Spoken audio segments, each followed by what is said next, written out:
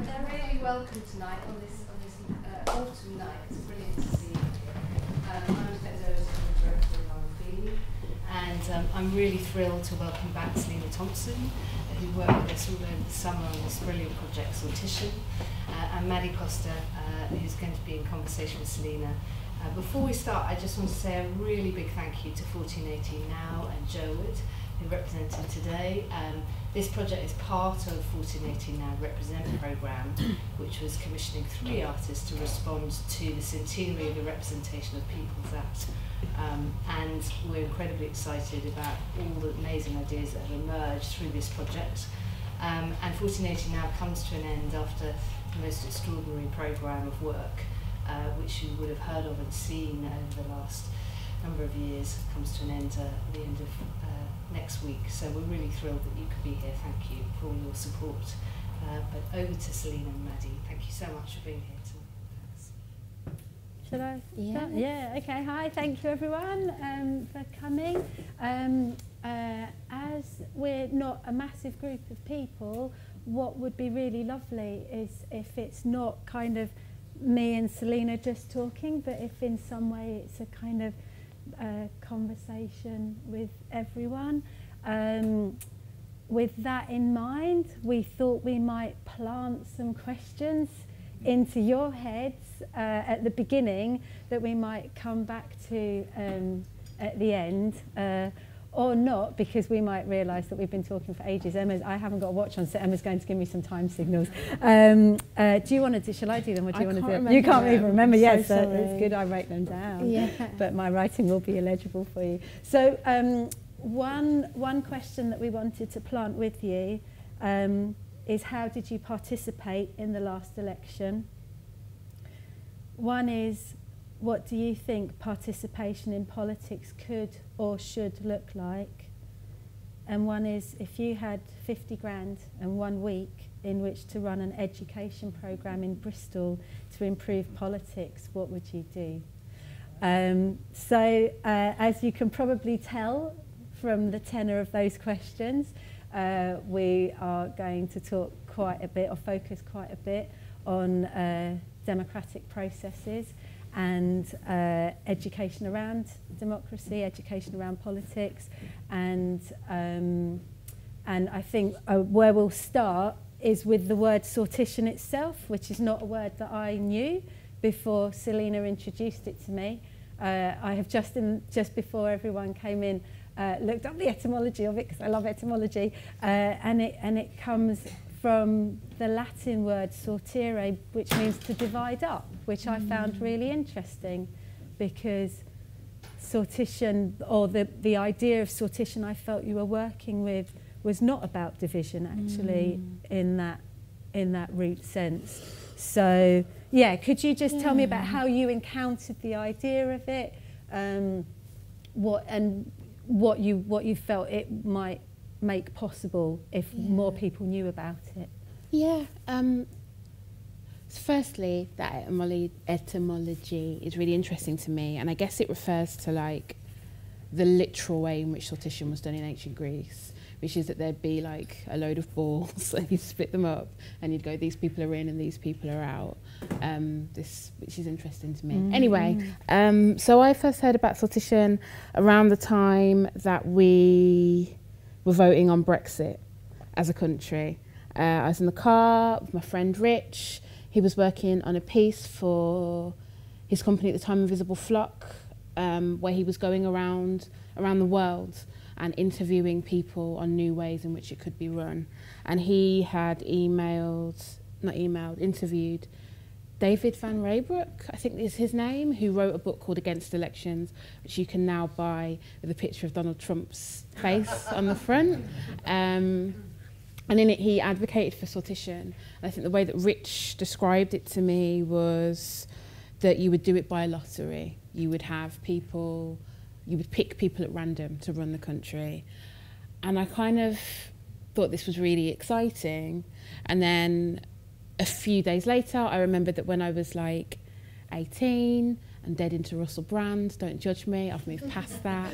Um, I used to go to London to see his shows with friends, uh, and they were very cool. They had zines, they watched like David Lynch films, and uh, this was like mind blowing to me. And um, Dan Taylor, who is now a writer and theorist about capitalism, ha- was big into sortition as well. He was like, we should put Parliament together the way that we do jury service. So this idea has been, I know we touched on this a bit earlier, but kind of very much communicated to me through word of mouth mm. in very simple terms. Mm. It's jury service for Parliament, it's picking people at random. Um, and with Rich, it came out of a conversation around the kind of futility of voting in our respective um, constituencies. I wanted to vote for Green and I was in a Labour safe seat. He wanted to vote for Labour. He was in a Conservative safe seat. So it came from this kind of sense of how do you make it so that all of this stuff counts mm. wherever you are. Yeah. And with yeah. Dan, I think it was because I was about to vote for the first time and I was very excited and mm. Dan was not. So um, that's where it came mm. for me. And then mm. when Claire got in touch to ask if I was interested in putting something forward for this, I was very angry about the proposition of like, sorry, uh, of like celebrating voting and the suffragettes because we had just, we were having like the third vote in three years straight. None of it felt useful mm. to me. Um, I couldn't find a way to connect work that I was doing with other activist organisations, with parliamentary democracy, so I kind of wanted to make something that was a bit more fuck you and was a bit mm. more actually no, mm. I don't want to celebrate mm. representation and electoral representation. Mm. I want to make something that pushes harder. Mm. Mm. Um, yeah. There's a lot of a lot of things sort of compacted into that. So one is um, something I've been thinking about for a while is uh, partly because my parents are Cypriot, so Greek is in my family background, but kind of the weight of these words that we've inherited from Greek, uh, uh, democracy being one of them, and how uh, the ancient Greek idea of democracy was not everyone having access to political process at all. Uh, what does that mean for us today? Then thinking again about the suffragettes, uh, that wasn't mm. access for absolutely everyone. It was it was a particular group of, of women. Um, so, so kind of we've inherited these ideas of, of democracy uh, as actually quite a limited, something that the access to it is quite limited. Um, so I think that's, that's inside of it. Another thing that's inside of it, uh, which I will probably return to, is I'm, I'm really impressed that you voted when you were 18, because I was way scared to vote when I was 18. Uh, so let's, let, we'll definitely come back to that. Um, uh, but another is uh, uh, Donald Trump's face on that book. You know, we've just had this election in Brazil, democratic election, but it's given us a fascist leader of that country, which is terrifying.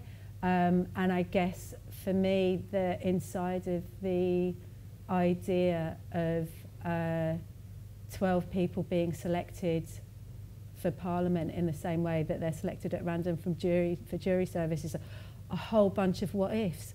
What if they're all Brexit voters? What if they're all UKIP people? What if? What if? What if? Um, uh, how how does that? How how do you negotiate that? How do you think about that? Okay, so I'm going to jump jump back to mm, some of the. Mm. Is this a box? Is it elastic bands? Yeah. Okay. Yeah. Uh, so let's jump back to one of the boxes. Let's look at the one that is referencing the Greeks and democracy. So we ran a boot camp week, which we'll probably talk about later. We had mm. lots of people come in and speak to us about democracy. First person to speak to us was a man called Yoram Gat, who was in Israel uh, and is sort of a big advocate for sortition. And that's really interesting within the context of Israel yeah. and Palestine. Yeah. Um, but there were two things that really stuck with me from what he said. The first was that his definition of democracy is simply political equality. Mm. And I remember thinking that's like mind bogglingly simple. Mm is that what we have? Mm. Does that work? Mm. her. Mm. Where does economics come into this? Mm. All sorts. Mhm. And the second thing that he spoke about, which I think is really important, is that democracy is very emotive. Mhm. You can justify pretty much anything if you say it's democratic. People have a real emotional block between of pushing against it. It's part of how um, democracy is such a big part of the like ongoing imperial projects of the re- of the West. What have we done? We've bombed this country back to the Stone Age. But look, they have, have democracy, democracy. and everyone Yeah, goes great. Mhm. Um, so I'm very interested in that emotional load that that word carries, where it's weaponized, um, and particularly around things like voting and voter apathy, how it's used to shame people as well. Um, and I'm so if I skip ahead to the end and to the what ifs, Yeah. Mm-hmm. what I guess we were looking at with the boot camp, so in July or June, a time in the past, we invited 12 people to come to be in the Arnolfini. We were in the three galleries downstairs. We had all these talkers come in, and it was a very like pedagogical kind of project. It was, what do you need to, what knowledge do people need to feel able to run the country themselves? What do you need to put in place for them to feel like they have agency, to feel empowered, um, for them to trust each other? Um, because all, with all of those what ifs, I feel like what is underlying all of them is the failure of the current political system. And that's not to say I'm a big simplistic advocate for sortition. There are problems with it, many. But I feel a bit like what has the impact of 100 years of electoral representational democracy had on political education in this country, on who we see politics as belonging to, on who we see politics as being done by? One of the, when we were brainstorming questions to ask you guys this afternoon, one of the questions I was interested in asking people was why don't they organise? because um, and not not from a place of judgment it sounds like a really condemning question why don't you organize but i'm not asking it with a finger pointed like i'm asking it from like a genuine place of like interest and curiosity why don't people feel empowered and mm-hmm. able to organize and i don't think it's enough to go they're too busy or they're tired. Mm-hmm. There is some of that but i think people do incredible things when they're tired and busy and mm-hmm. overworked if they feel like they can and if they feel like they'll be supported and it will lead to something.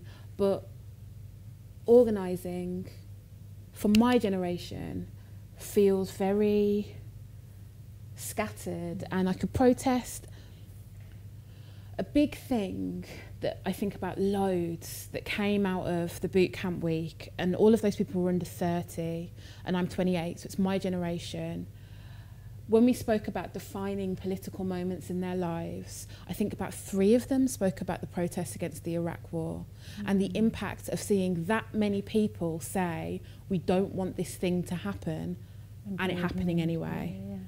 And I think that there is something that very, very interesting that happens when we think about British millennials politically, if we establish that as a definitive moment. Mm. I've lost the track of your question. No, it's fine. I want. I'd like to pick up on that, probably possibly briefly, because I also want to come back to the, the boot camp participants. But I think about that moment of that protest a lot. It's the way in which I have rationalised apathy, not among millennials actually, who I I don't. I mean, you know, this is from what's performed on Twitter, so it's probably it's possibly a really false perception. But I don't think I think people in their late teens and early twenties are significantly more politically engaged than I, think was at late that time. Late teens are like the other generation that's coming Okay, up yeah, okay. generation. Yeah, yeah, yeah. Okay, yeah, that's about. interesting. They're yeah, yeah, yeah. But whereas I think that that um, older, so I'm 43, so kind of people my age and, and either side of me, um, I think something in us broke with that with that march and the failure of that, uh, well, or that that stream of protest and the failure of that, or the the kind of, um, and I, and possibly it's got something to do with that. Um, that attitude of like, no, f- 52% is enough Mm. for that to be put, that has to be listened to. Mm. Um, this might all be tangential. So maybe let's come back to the, the boot camp people for a bit. Yeah. Um, how did you, were they selected at random or were they, I mean, they, they already aren't if, you're, if you've chosen Mm. people who are under 30. So could you talk a bit about the criteria for selection? Yeah. So this was um, a commission project. So it means that parameters like that, it's always a kind of uh, agreement and compromise between the people that commission and the artist and everybody else that's working to bring it together. So it was an important part of Represent that it was people under 30, kind of 18 to 30 that were the target, people who wouldn't have been able to vote under the Mhm. People's Representation Act Mm. which I thought was a really exciting provocation. Um, we ended up leading with an online campaign, which I feel inadvertently kind of sets another set of parameters around who's going to participate. Because when you're focusing on things online in general, what it means is that you're going to find an audience that's already engaged with Yeah. you. Yeah, yeah. So it meant that we ended up with what I would describe as largely a group of people who were arts adjacent Mhm. but there's still variation and a great Mm. deal that can be done within that. It's self-selecting because people had to put their names into a form. Um, I was going to say hat, but there was no hat, I don't think. And then there was a degree of random selection, but there were parameters around that that I placed as an artist, which was that we needed to have someone from Scotland, England, Mhm. Wales, and Northern Ireland. Um, and that there was like a we did have sort of regional outreach and we were Mhm. looking for people who maybe are underrepresented in the arts. And there were a few people who definitely met that. We also had at least one person from Bristol which was really important I Mm. think. Um, so that was kind of how that group came together. Um, and I think that this is one of the flaws of sortition is that bring, pulling together that pot is never is never genuinely random. Mhm. In the same way that in Athens you are looking at white slave owning men, in the same way that when the Venetians and the Florentines were putting it into practice, it was the big wealthy families and picking Yeah. amongst them.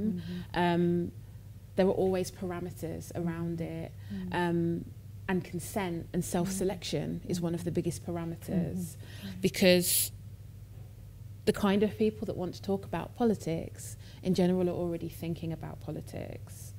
Um, so that's how that group of people came together. So within that group, I think we had, it wasn't gender balanced at all. We had three boys, three men, um, and nine women, which is about right for the arts. yeah. Uh, we had three people of colour.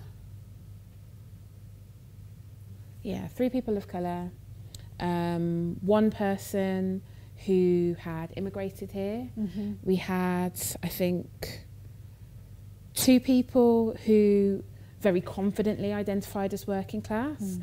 and a lot of people who didn't identify as working class confidently, Mm, which is very interesting to mm, me mhm, um, and maybe like two or three people that identified as middle class Mhm. confidently. mm. Um, we didn't have anybody who defined themselves as queer within the room. Mhm. We didn't have anybody. We had people who had access needs, but none of them who felt they were in the room as a person with a disability. So there are these kinds of. I mean, there's the certain amount. There's how much variance can you Yeah, get yeah. within 12 people, but Yeah, also sortition doesn't guarantee No. Yeah, yeah, yeah. that you're going to get everybody represented. Mm, mm, Not that mm. that's guaranteed in the system we have. Mm, mm. So this was the group of 12 that we had. Mm.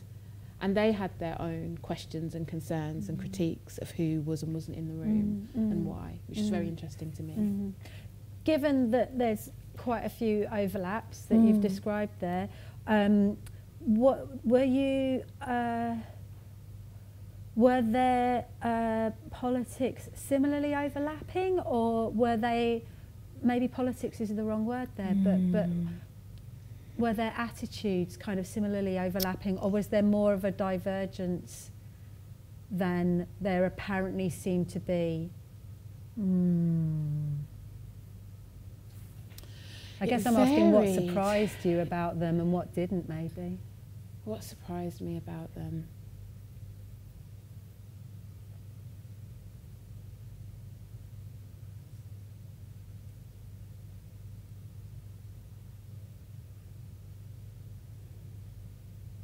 I was very interested in one participant who was pro Brexit Mhm. and quite white, right wing, Mm-hmm.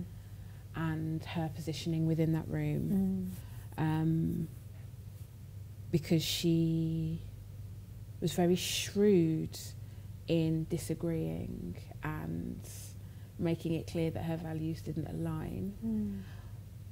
but also prioritized consensus. Really interesting. Yeah. There's something about there's something about all having to agree on something Mm. that I think changes how people because nobody I don't think very many people are like simplistically right wing or Mm, simplistically left mm, wing or mm. authoritarian or libertarian or whatever. Mm. Kind of more like that. Mm. Um, and I guess what it enables you to do in that room of 12 where you're not representing a constituents or a Mm. party or a Mm. people is to represent yourself. Mhm. So maybe we all form a constellation of agreement about this, Mm. um, but we don't agree about that. Um, Brexit brought quite a lot, quite a lot of hostility into the room, predictably. Um, not a huge amount of, of, it surprised me though, Mm, because that mm. sort of arts adjacent audience Yeah, is yeah, what I'm yeah. familiar with. Yeah, yeah, yeah. So I think you need more of a of a clash. Yeah. And I also think that again if I think about recent elections, there is a big generational gap between how people are voting and how people perceive things. Mm. And I think if I was doing it again, I would want it to be a room that had big age variance Yeah, yeah, yeah. because I think yeah. that that is the that is the real conversation that Yeah. isn't happening. Yeah, yeah, yeah. It's yeah. not even happening in activist circles a lot of the time, Yeah. let alone in. I mean, wh- what's the closest we get to it? Question time? Yeah, yeah, yeah. You brought a new word in there, consensus, which Mm. uh, which we hadn't, which hasn't come up before, um, and makes me realise that we that there's a, a bit more of unpacking about sortition. Like, is is the idea of sortition also that it's a practice of consensus rather than a, the kind of um, uh, counting the votes and majority win? Well, it varies because all sortition is is a method of selecting a group process, of right, people. yeah. What that group of people then do when they're together is anyone's guess. So consensus was a decision that you made. That was a decision I made. Why? Why did you make that decision? because often our alternative to consensus is to, or our version of consensus is voting. Mm. Mm-hmm. I kept watching that happen in the week. There would co- there would come a moment of impasse, and we would do a show of hands. Mm-hmm. But that's not agreeing. That's like who can get the most votes, and maybe people voting aren't voting because that's what they want, and blah blah Yeah, blah. yeah. So. For me, what was interesting was what happens when these people have to find a way that either everybody is equally happy or everybody is equally unhappy, but either way, we're all on the same plate. Mm, mm. Um, and that was really interesting. That's where it then, that's where then even in a group which could have been monopolitical and monocultural, yeah. you're getting a much more interesting conversation, yeah. I think. Yeah. No, absolutely. I think there's something about voting that that, that encourages antagonism, Yeah. um, whereas consensus requires conversation. because voting is competition. It's Yeah. win or lose, Yeah. it's pass or fail. Yeah. So of course, of course, it goes hand in hand with like capitalism Yeah. because it's it's competing, and I think a big a big bit of feedback that we got was that that week wasn't about competing. Yeah. It was about making sure that everybody had enough information and all of the tools that they needed to be able to come to their own conclusions. And a really huge thing for. Mm, so, in Against Elections, David Ran- Van Reybrouck references this man whose name I can't remember, which is really bad. But he does lots of um, randomly uh, gathered assemblies around the world to consult on very specific moments of policy. So in China, they did some work that was on retirement age. They did some in Manchester that was about knife crime. Um, they've done loads in the States about all sorts. Um, and for him, they came from trying to find a different way of doing opinion polls. he argued that opinion polls ask people to make a decision when they're not thinking, to just Mm. uh, say the first thing that comes out of their head as Mm, quickly mm. as possible. And then they're really influential as well. yeah. Mm. And he was like, actually, there has to be a way of doing opinion polls that, first of all, creates the best environments for people to think in. Mhm. So that means time and comfort, Mm. consultation with experts, consultation with citizens, Mm. um, people being in good humour, people trusting each other, it being well Mm. facilitated. So, can't remember what I was saying. That's okay because it's made it's reminded me that you used the word pedagogy earlier, Mm. um, and uh, I th- did you just use the word instruction as well? I can't I can't remember. No, information. It was information. Um, uh, the what did you what did you provide for your boot camp participants? Like, what did you feel like would be useful education for them Mm. in politics? So, well, I'll tell you what happened in the week, but I'll also tell you who we approached. Mhm. So the first thing that we knew we wanted was experts, um, because for better or for worse, the presence of someone in the room who can be defined as an expert Mhm. is very comforting to people. It lets them know that it can't go too wrong, and I, I get it, but I also Mm. really want to smash that apart because it's Yeah, ruining my life. Yeah, yeah. So uh, the people that we approached were, I'm going to need your help with this, Emma. So there's a guy called Duncan who runs something called New Economics uh, and like consults with the Bank of England and people like that. Um, so he came in and spoke to us about economics in the UK and how that works. There's Mike Savage, he came up with the Great British Class Survey. So he was talking to us about class and how that works and what policy needs to be in place for class equality uh, and why it's never going to happen. And then we also had, what was her name? Amazing, taught us how to make a budget for a country. Nonny, who did this great big game with, like, I wasn't in that session because I had to do other stuff, but there was tape on the floor and they were basically learning to budget for a country and the differences between that and how you budget for a household. And they, Brilliant. They loved that. Uh, Yoram, who spoke to us about sortition. Uh, we had a man, um, an activist from Artists for Brexit. Mhm. We had um, Cleo, who is your Lord Mayor? Lord Mayor, who came in and spoke about kind of local politics and also the shift from activist to the system that she now works within. Lots of that was off the record. Yeah. Really great. uh, we also spoke with a lady who is an experimental psychologist. Uh, what was her name? Magda, uh, who works in government, in Parliament. She consults on um, sort of programs and getting to the heart of how we want to get citizens to do what we want them to do. So she was talking about uh, a proposal for reducing obesity uh, and how it could be an education program, or it could be stickers on um, food packets like we get on smoking packets, or it could be more subtly coercive. Uh, and sort of, uh, yeah, it was great. She was great. So we have all of these experts come in. Um, they ask us three questions to think about so that they can get a sense of what we don't know. And then they talked us through what they did and they talked us through what we needed to bear in mind when running a country. Uh, we had um, a facilitator, Liz Clark. He came in and worked with us.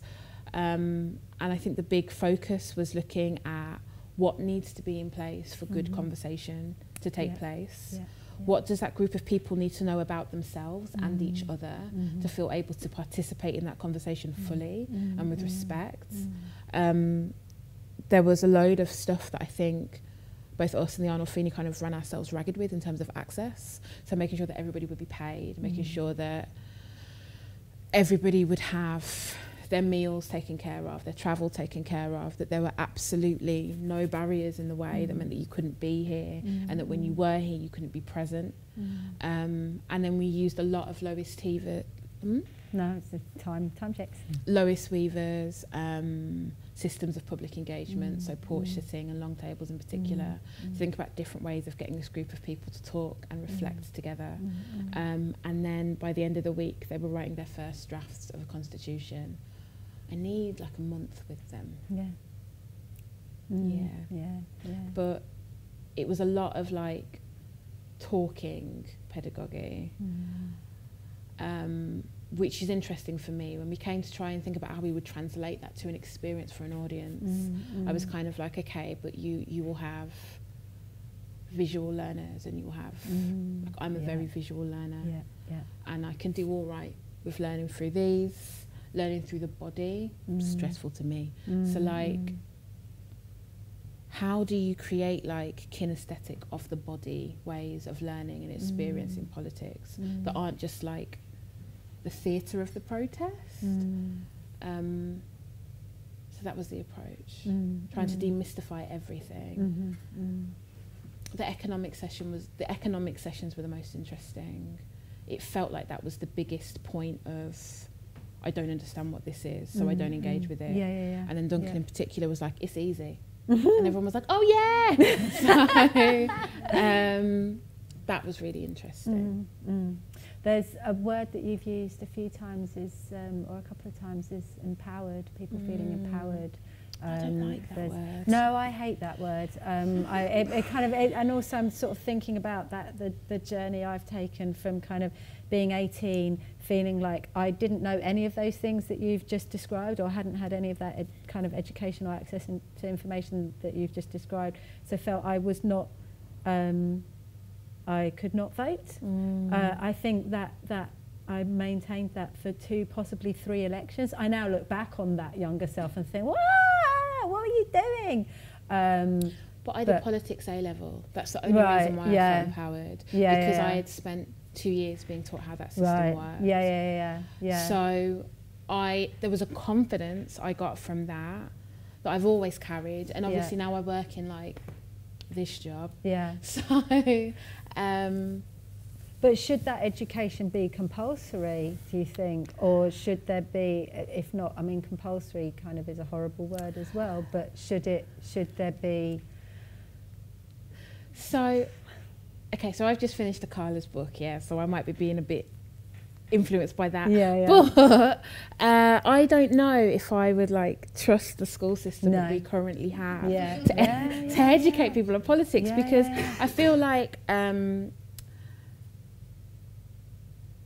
a couple of years ago when we started uh, the Missy Elliott project, which is about working with young people, Mm. we spoke to a guy from what's the name of that theatre in like it's got the egg. What's it called? I can't remember. The egg, no, isn't it? What is it? Another It one? might have just been a publicity. Yeah, Yeah, yeah. it, it was like all I can remember is this egg. I think it was like in Ghent or somewhere like that. Ah, It was on the continent somewhere, and we were talking about working with young people in the UK, and he was kind of yeah. Yeah.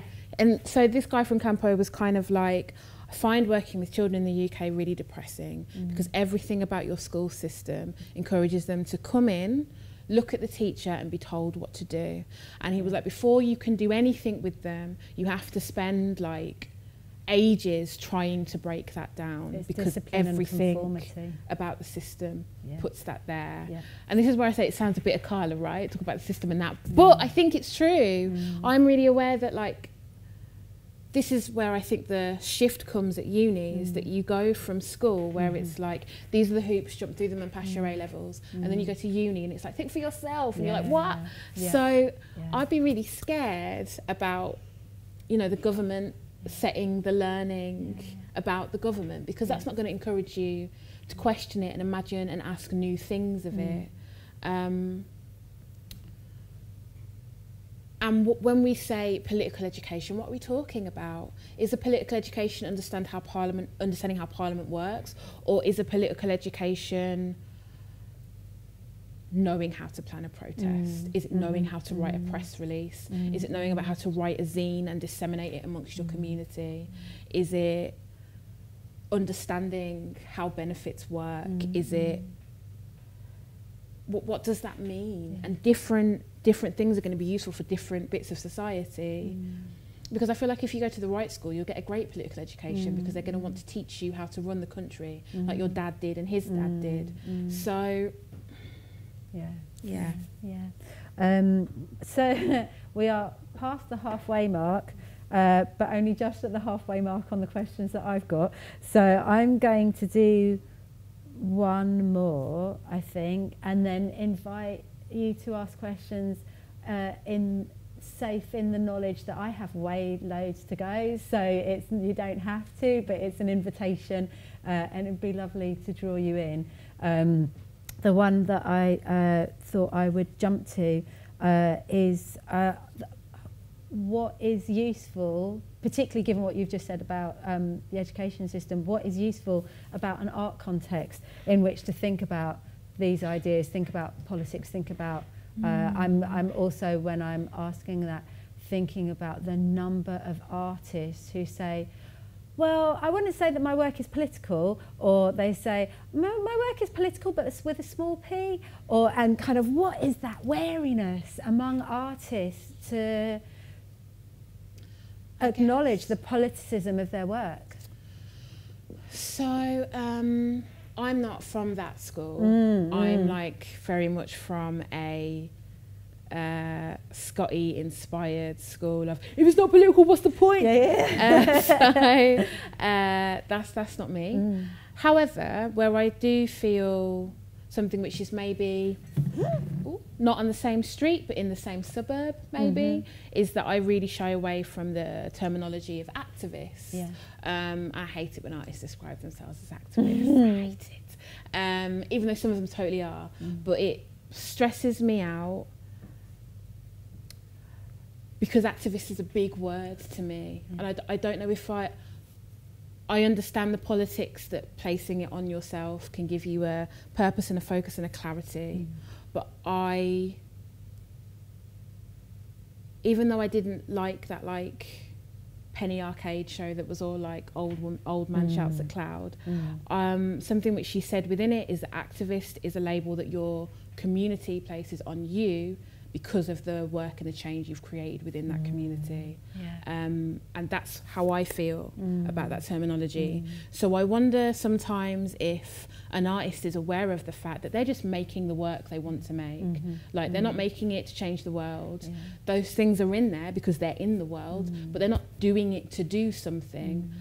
I also think this is a big thing with like socially engaged work and something that me and Emma were talking about the train on the way down here which is that like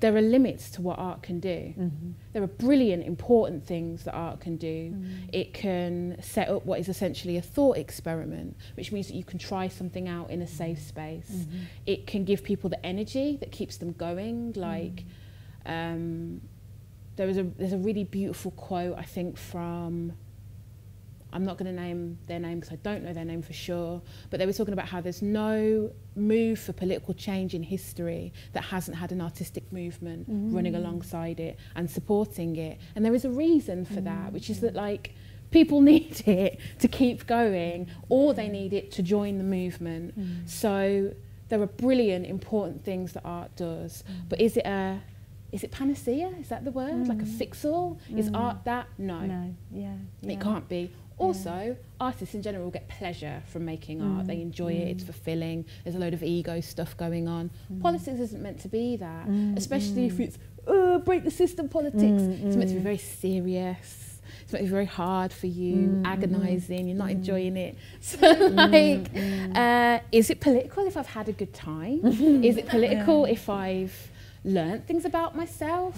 Um, is it political if it's changed my life, but it Mm, hasn't, you mm. know, made a politician I don't like disappear in a puff of Yeah, smoke? yeah. So I think those are the reasons why people move away from it. Mm. But remember doing like a provocation that can live art unfuck the world thing that Helen Mm. Cole had. Mm. Provocation made me so mad, but I think that was the point. Mm. Um, and I was kind of like, I'm less interested in what artists can do with art. I'm more interested in what they can just do as people. Mm, Like, mhm.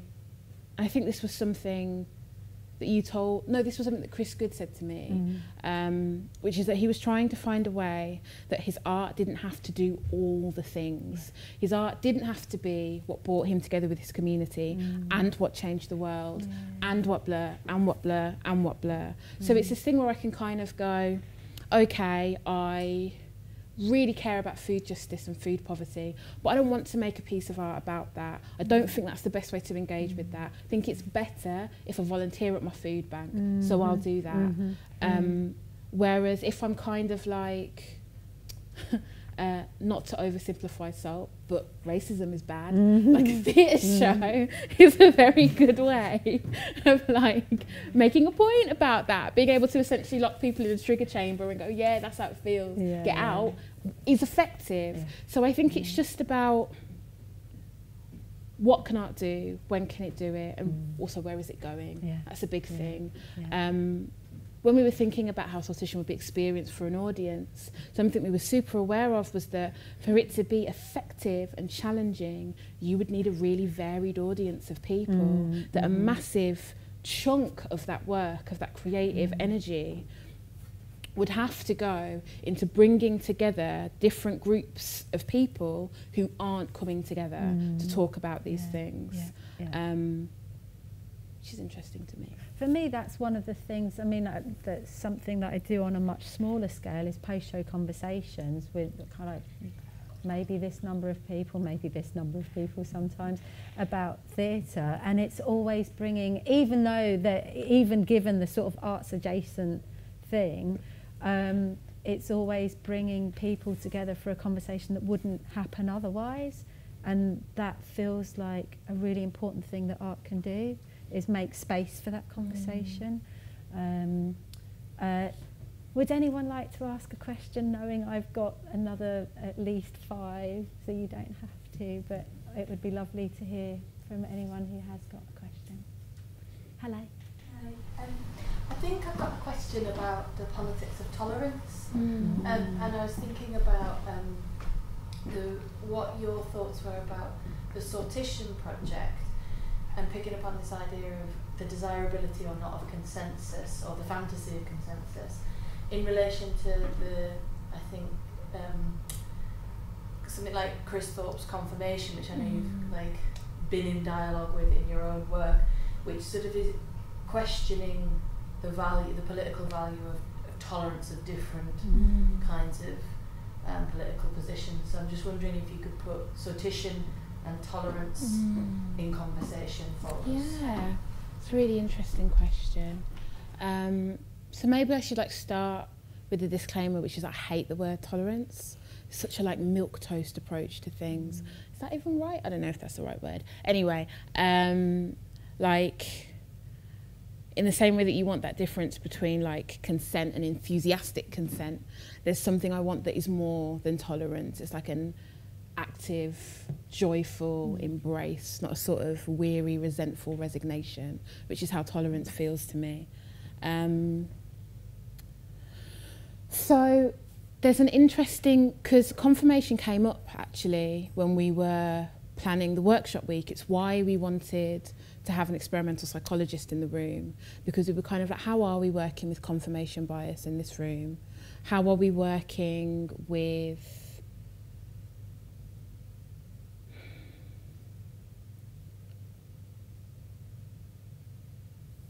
what is it that I want to say here?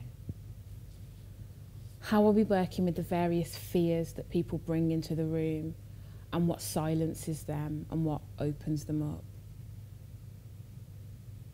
So I guess if I run the thought experiment in my mind of sortition happening, so we elect 650 people to Parliament by jury service methods, you're going to get people from all over the country with all of their different experiences. And you would have to completely change the education system, right? Because you would have to teach. You couldn't be in the south and not understand what it is to be in a northern mining mm-hmm. town mm-hmm. because you might be in parliament and have to make decisions for mm-hmm. that.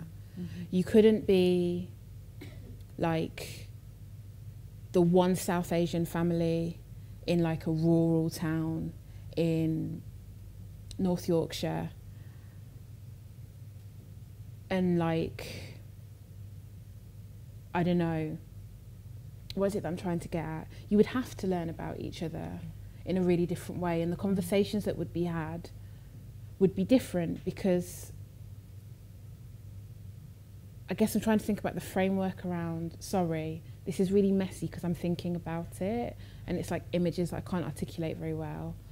So I guess I'm thinking about Diane Abbott in Parliament right now and how tolerance is working out for her. Uh, and I guess I'm thinking about something that Mike Savage told us, which is that this is like that the big change that happens after like post-war consensus into neoliberalism is that when we come out of Thatcher's rule, those politi- the majority of politicians are no longer using the services that they are responsible for running. Right.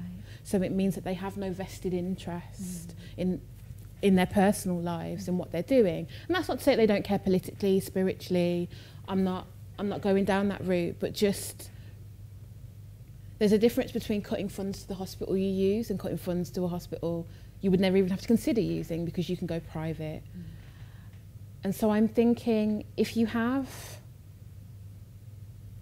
a group of people from all of those different walks of life and they have to form consensus so they have to form common they have to find commonality you have a really difficult political system but i don't think getting rid of the things that block intolerance is as easy as bringing people together because i'm thinking of all the people who are like not racist because they've dated a black girl, mm, not homophobic mm, because they've got mm, a gay friend. Mm. Um, and I feel like the projects needed to change the way that tolerance works in the UK are bigger and broader than that. It's like a whole. This makes me think of something that one of our participants, Caitlin from Belfast, spoke about a lot, which is that to do away with political parties is to completely change British identity, Mm-hmm. that who we vote for and how we vote for them is a big part of how we understand being British. It's a big part of how we understand our history, and it's bound up in empire. Mm-hmm. So if you get rid of that, you then have to completely rebuild British identity. It should be hellish. Like I'd quite like my kids to do it, but I don't want to live through that. I'm tired. so um, I think. I'm wondering if um, something so interesting in you talk, hearing you talk about boot camp because the word representation feels to me to be at the heart of this, which is I was really interested in.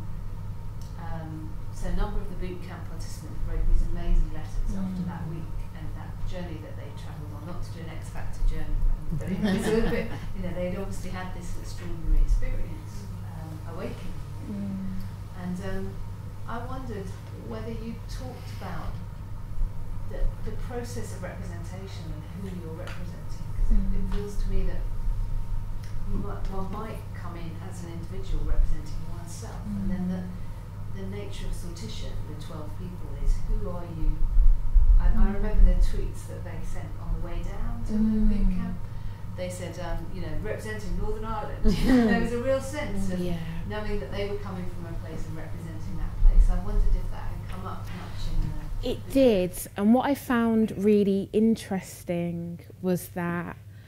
So, Caitlin, who was from Belfast, my girl was carrying loads, loads, because it's representing a place that is really charged at the moment, which after the repeal the 8th, was it repeal the 8th? Mm, yeah, yeah, yeah. I was like, is it the 8th or the 11th? No, After eighth, repeal the 8th yeah. was kind of like, yeah, but what about us? After Brexit was Mm. like, yeah, but what about us? And has a history that just isn't widely taught in England or Wales or Scotland and isn't widely understood. And she felt that. She really felt this need in so many conversations to be like, hey, so Northern Ireland. In contrast, there we had, was it two people from Scotland? Maybe more? yeah, we had Beldina and we had Katie. Um, so they could do Scotland together. So it was all right. Like uh, Monique and Beldina were both black, so they could do that together. Like um, Beldina uh, has dual citizenship in Kenya, so Mao had dual citizenship in Portugal. They could do that together, but it's sort of moving really rapidly from conversation to conversation who you need to be and how you've got to stand up for yourself, stand up for your people when you want to do that, when you want to push back against that. But I also think the idea of there's this really oft quoted like Zora Neale Hurston quote, which is uh, "Skin folk doesn't mean kinfolk," which I enjoy a lot. Yeah. Um, and I'm like a something which I think is starting to become more and more prevalent, definitely in Black British activist circles, is that there is it's small, but there's like a growing black middle class who will Mm. become a black establishment Mhm. and a lot of what they aspire to and aim for is in tension with the black activist traditions mm. that existed mm. before that were immigrant led and working class led mm. and also politically black uh, rather than necessarily from like African and Caribbean descendants.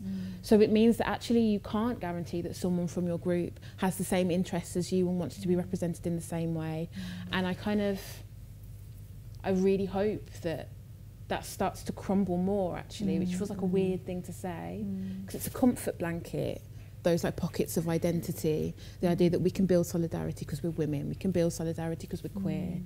but I don't know if it works anymore. Mm. I don't know if the prevalence of intersectionality as an idea as well also makes that harder to maintain. Mm. And I don't know how useful it is in politics because there are, yeah, I'm going to end it there. I'm not going to. Is that all right?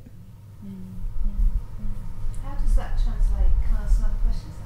Uh, Depends if you're going to jump ahead of Jenny or not. Sorry, Jenny. I, I, coming back to that, you use that term, the potential for art spaces like this to be safe spaces Mm. for us, with unsafe ideas, that, that phrase. And I'm wondering how, well, it's a big thing we're thinking about a lot, which is um, that can that can only happen if you're really starting to change who feels this is for them, how they're represented here, because otherwise it's a safe space for people that already, Already feel safe, safe yeah, here. yeah, yeah. And I'm wondering whether that came up at all in terms of boot camp, um, even though there were arts adjacent audience. Mm. Talking to a few of them, I've, I certainly experienced that. You know, a few people were like, oh, I've never, I've never been to a place like this before, Mm. and just asking kind of how, how does that feel being part of something which is changing, which is going to change, but you know, there's Yeah. barriers to pull down. So, something which I think um, Dawn Walton, who's the artistic director of Eclipse and who I love a great deal, um, said it like, I think it was a talk about diversity, our role for diversity. and she said that you, if you change the people who are on stage and you change who works in the building, you change who comes. So, um, I don't necessarily feel comfortable in a space like this. I've had my work here three times, and there's still a part of me that's like, nah. Um, which means, I hope, that I kind of have an idea of what changes I want to make in that space. So it doesn't feel like um, it's not a space for me. I think my favourite thing about the bootcamp week was having these three massive spaces and then being doing very different things because we were living in those spaces. Like this one room where people are like napping or meditating or writing stuff down calling their mum blah blah blah. Another room where people are cooking and talking and eating and working. So this means that the room smells different and it tastes different. There's like a bit where we're sitting on bean bags. That's not like high art straight backed chair stress. Um, there's loads of stuff on the walls that you put there. Um, then there's a, there was another room which, when we first came in, was like straight tables, notepads, and it was like ah. we did a talk. We did a talk, and I was like, oh my god, everyone's bored. It's just like school. Oh my god. so then we were kind of like, okay. How do we feel about this room? And everyone was like, okay, we have to keep it like this because we need the tables and we all need to see. But at least we made a decision that that's how we want this room. Then when we finish doing these like weird UN Skype things, we'll get rid of it and we'll have it be more messy. So I think when Grayson Perry did that big, is it the Reith lectures that happen every year? He Mm, said this thing where he was like, mm, and I don't agree with this completely, but he was like, it's arrogant to walk into a gallery and immediately think that you're going to get it. He was kind of like, it takes a while, you have to keep going back. And I don't agree with the arrogance. Uh, I think it's a very arrogant thing for him to have yeah, said. yeah, yeah. But I do think that The there's some patience, about yeah. patience, about going Yeah. back, and also about it Mm. being okay for people to be bored or Mhm. for people to not get it. Yeah. Um, I can remember like, having a conversation with Johnny after uh, a talk with Sortition and asked him how it went. He gave this really long answer. He went, What did you think? I said, I thought it was really boring. And he went, Yeah, me too. Mm. Oh, all right, great. And I was like, Cool. And he spoke loads Yeah. more after that. So, But this is where conversation, like the importance of conversation comes in. Like the, the, it, the encounter is not enough.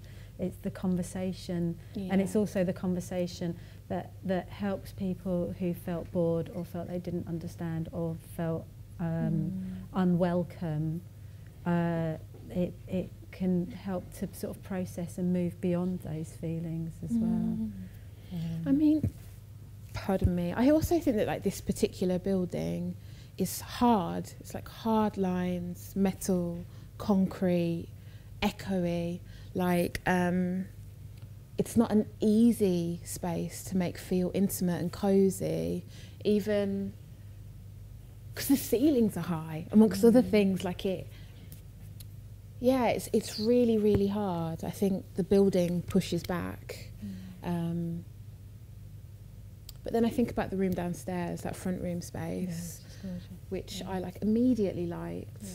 But that's because like a library is a safe space to me Yeah. immediately. Did you have a question, Jenny? I did. I think I've had about five more questions as you were speaking. It's so fascinating. I think I um, want to take you back to kind of the more political side of Mm. sortition because I'm so fascinated by you know how we find a different system to the one that doesn't seem to work very well. Um, and I, and I, you talked a lot about education, and I was thinking while we were talking about 650 people coming in through sortition, I was thinking about the civil service and thinking about a lot Mm. about what you've just been talking about in a way about how how that would need to change so that Mm. their job would be to make people feel comfortable, Mm. to make people feel safe to express whatever they want, how they would actually then take those decisions and do anything, and how they would stop Mm. Being, uh, um, I suppose, uh, just kind of taking advantage completely of the Mm. situation of having uh, 650 totally naive, ignorant people Mm. coming in in their view and being able to kind of run the whole country themselves without really, you know, just saying yes, minister, but not actually kind of doing anything about it. And I was just beginning to think about in your in your boot camp week, what you, you were giving the people that you were working with masses of fascinating information, and that that's sort of still the educative Mm. process. But in terms of getting them to make decisions that could Mm. be then put into practice, Mm. what sort of did you did you begin to discuss with them any kind of structural, you know, what the what the basket structure would be around? They started to discuss that. Mm, yeah. like way before I did, Uh-huh. Um, because that was what they were anxious about. Yeah. Um, and anxious is the word, like a palpable Mm. anxiety in the room. How does it work? How does it like tangibly actually work? Um, so we taught them through some examples of where it has worked, and I. It's that really scary thing, isn't it? Which is that if you set up a system, if you create a system, you are necessarily outside of that system. So you hold a certain amount of control over it. So what I want to do, which you know, probably like my inner dictator, is um, be like, what you would want to do is create this framework that your 650 people then step into. But the problem is that who is setting that framework? How are they brought together? How do they have the expertise to do it? And I guess it's consultative, right? So you're working with experts and citizens and you're looking at where it has worked already.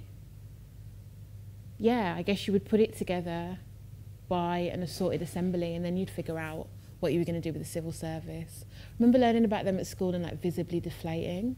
Like just being like, so what's the Mm. point? Mm. What's the point in all of this if they're just there and they just do what they want? I know they don't do what they want, but I was 18.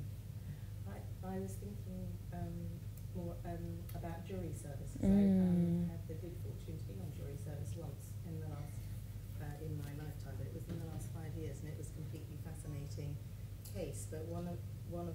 that most impressed me about the whole system, because we were there, 12 people who'd never met and came from all walks of life, and we were given, you know, one decision to make, both, and we sat for five days and Mm. listened to everybody. But at the end, the judge, who had had a lifetime's experience of this, said, um, I can tell you the law, you need to make the decision. And it was Mm. absolutely empowering Yeah. us to make the decision. And we then knew that the decision was a very, very important one. It was about whether someone would go to prison or not.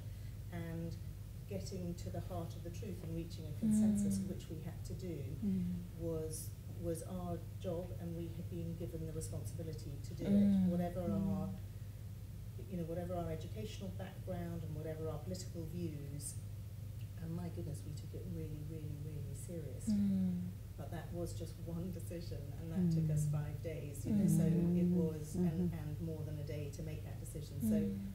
I think there's a practical thing about kind of how much that the sort of the judge type person, the civil service can support the masses of decisions. a really useful text for me when putting this together. Uh, I can't remember who it's by. Sorry, my brain is cheese. But it's called um, "A Use for Your Broken Clay Pots," and it was. Um, what is it? It's like what's left. It's like the tangible remnants of an art piece that he did. This man in England, Germany, France, Belgium, and he went and he held all of these different sessions with like audiences of like 40 50 30 people and put together by consensus what is essentially a constitution which talks you through how a country would run by sortition.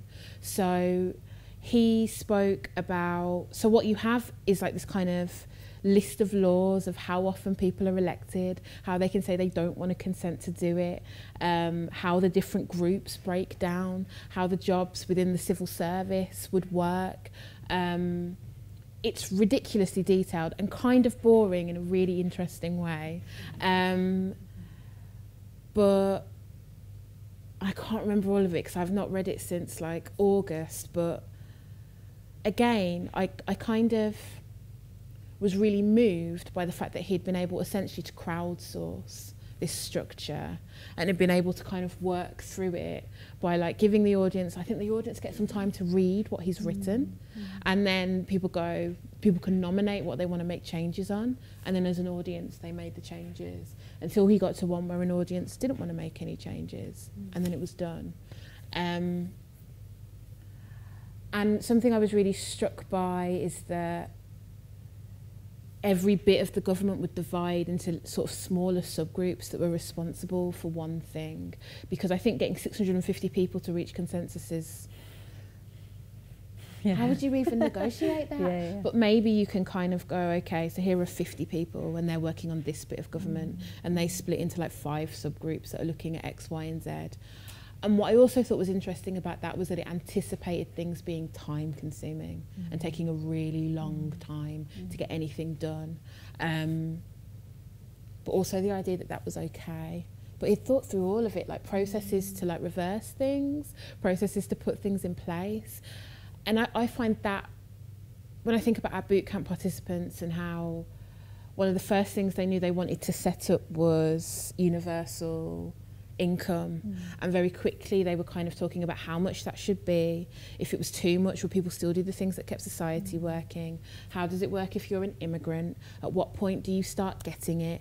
Um, how would it be paid? Like I think people very quickly go literal if they feel mm. like they have the tools to do that because they take it seriously. So they're kind of like the questions come up and they want the answers which maybe I don't because I'm more like ooh um, but that's part of my job right I think I think it is We have about, I'm just going to do a quick time check, about 10 minutes, is it? Yeah, about 10 minutes. So, Um, thank you, this is so fascinating. I also have about 17 questions, but uh, I'll try and formulate one that's slightly coherent. So it strikes me what something that you've come back to again and again is, is this idea of care. And I'm going to push you a little bit on um, on uh, on the relationship between art and politics because because there's a sense I think that um, something that I've come across many times um, in my own thinking that activism is something that happens out there mm. and in public mm. and uh, there's some really amazing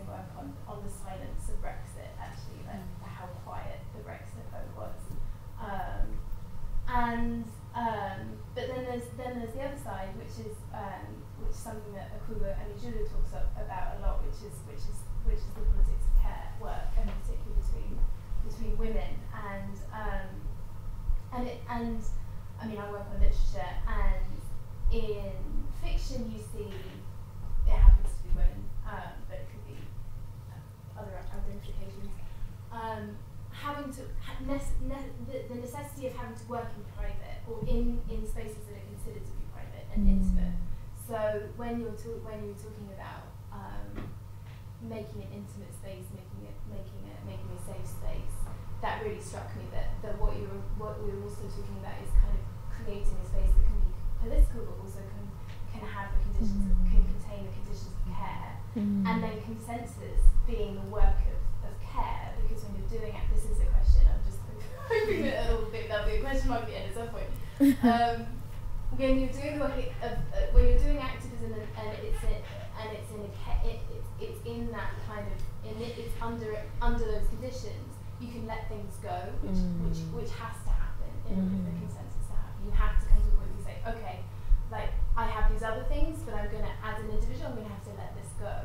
And if people can come together and do that as a group then you've got something that looks like it, and it has to be long term because it has to be based on so I just wanted to push you a little, and I think art is completely fundamental to that to that to that version of politics. So uh, because that's where you get the models of like relations and interactions and the understanding of you know empathy and all the things that you have. So there you go. That's my that's my statement. Okay. I was waiting for your voice to go up at the end for something to be a question. Uh, I love a Krug ideally. Um, and I was thinking when you were talking about Saidiya Hartman Yeah. and her theories around care Yes. and her arguing that violence is the antidote to care. Um, and that being a political thing, which I think is really strong. Um,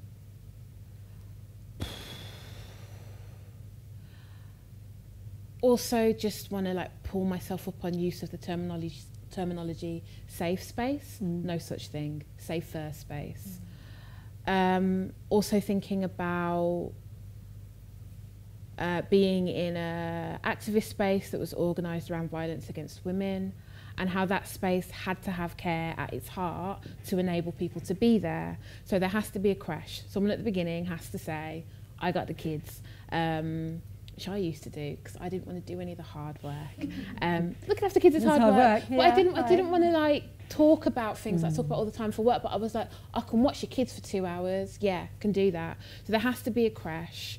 Um, the space has to be accessible, and people have to talk about anything that they might need in the space to make it easier for them. If it's too much text, is it going to be difficult? If there's too much talking, are you going to get overwhelmed? Do you have visual snow? Do we need a certain type of lighting? Um, then you've got to think about what time it is and how people are going to get there and whether people are going to be safe to get there. Are they going to need their taxis covered when they go home? So for me, care, access, those are the things that mean that people who are excluded from so many rooms can be in your room doing the work. Mm. It's like care's such a soft word, but I don't think it's a soft thing. I think it's mm. like walking boots and mm. Blah, it's a, it's a powerful word. But also like care is there so people can do the work Mm. and I think that that's the thing that people forget all the time. I can remember like kicking off about safe spaces on Twitter like a few years ago and having a load of like new statesman people come for me about it. And me being like what do you think we do in safe spaces? Do you think we like sit around and sing kumbaya and cry? I mean we do cry but also part of the reason why the space is safe safe or the space is like held by only people who are queer or only people of colour or only women of colour or whatever is so that we can lose the space that is spent making you f- feel comfortable so we can do the work that isn't being done. So all of it for me is about making sure that people can be there on an equal footing to do the work.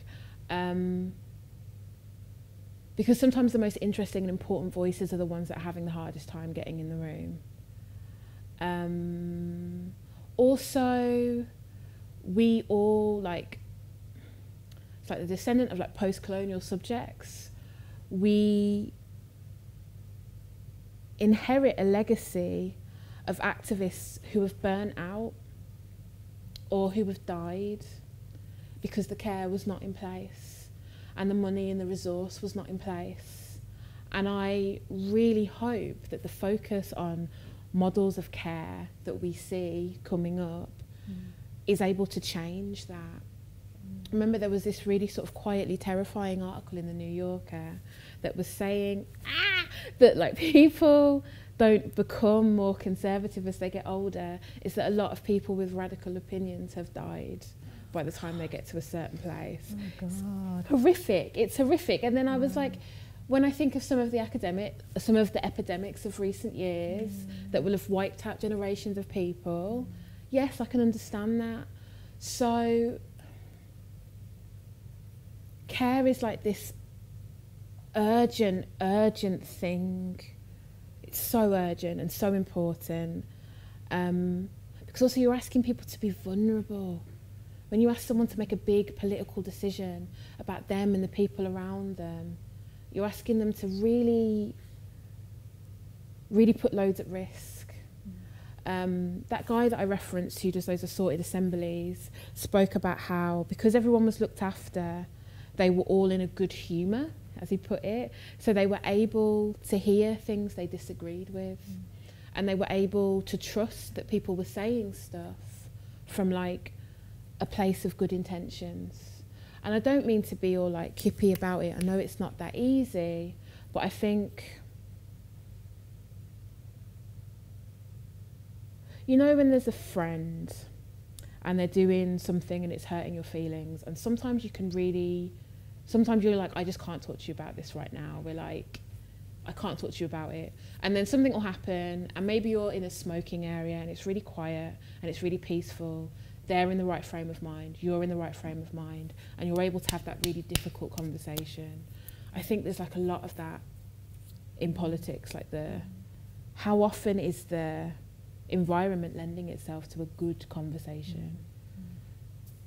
It's interesting that, that, that you're talking about that in the context of activism and politics, um, but it immediately makes me think about that conversation in the context of art making mm. and Ria Hartley's work with Ecologies of Care and um, all the artists or possible art potential artists who are excluded from the art world because of the lack of care in in the art world in the I mean I, I'm using art world very loosely there I only really know about theatre mm. and performance um, where I feel that there is, particularly for an industry that is founded in communication, there is a lot of work to do around communication, around care, around access that is taking a very long time to happen.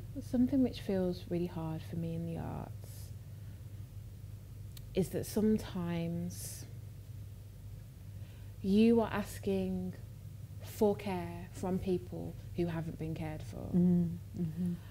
Um, and that's really hard. It's a really hard thing for you to ask of them, mm. and it's a mm. really hard thing for them to like get their head around. Um, and I guess it's thinking about again how care isn't seen as soft and weakness, mm. how it's mm-hmm. seen as strong. Mm. Yeah. We're about two minutes off the end. We asked you three questions at the beginning and then we left no time to come back to them. So, uh, so in the, in the final minutes, we can either come back to those three questions or you can just take them home with you, have a reminder of what they were if you want, uh, or uh, one of you can ask one more question, or I will ask one more question. Uh, what would everyone prefer? Reach consensus. Yeah, yeah, yeah. Right, if no one's jumping in with a question, I'm going to, I want to really quickly come back to the suffragettes. That's the that's the thing I yeah, feel like yeah, we haven't spoken. we about haven't spoken all. about, and well, might give us like take us for another twenty minutes. So yeah, like what can we say about your relationship with the suffragettes? I'm much more interested in them as activists and organisers than I am as this sort of moment in history where everything changed. Mm. And I was one of the most kind of rewarding experiences I had was inviting Shadeen Taylor Stone to Bristol and interviewing her as mm. like a current black feminist like award winning mm. organizer and activist.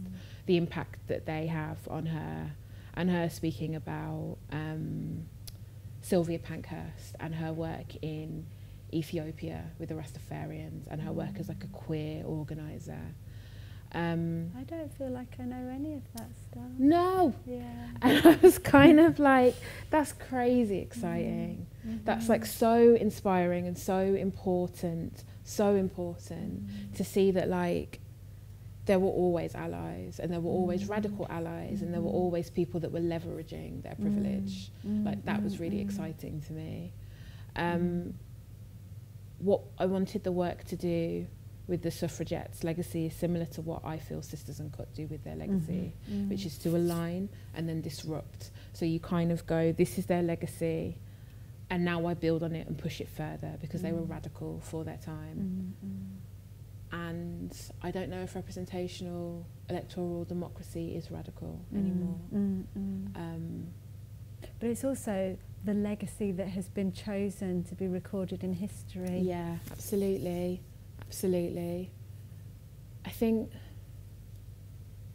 it's interesting because my first introduction to the suffragettes at school was listening to the recordings of somebody being force fed in assembly. I went to an all girls school. Mm. Miss Inchman, she was a real feminist. So like that was the headmistress. So that was my first introduction to them. Was just sitting with our eyes closed listening to that. And then her being like, okay, this is who these people were. So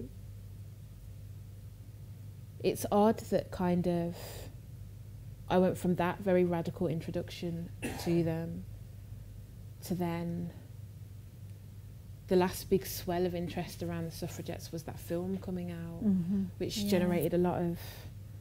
And there were good things about the film, and there were weird things about the film. Mm-hmm. But I wanted to, I guess, be more inspired by doing something that people thought was just nonsensical. Mm-hmm. Like when we first advertised the call out for Sortition, and someone was like, "It's going to be like Love Island," and I was a big fan of Love Island. I was like, "Great," but um, kind of there was a similar kind of "this is mm-hmm. ridiculous" mm-hmm. response to women voting. So I think maybe I was doing something right there. Maybe. That's all I've got to say for now. Is that all right? Yeah, Yeah. yeah. I think we uh, we we've hit an end point. So um, thank you Thank you for everyone for coming. coming, listening, and asking questions. And yeah, thank you, Selina. Thanks, Maddy. Yeah.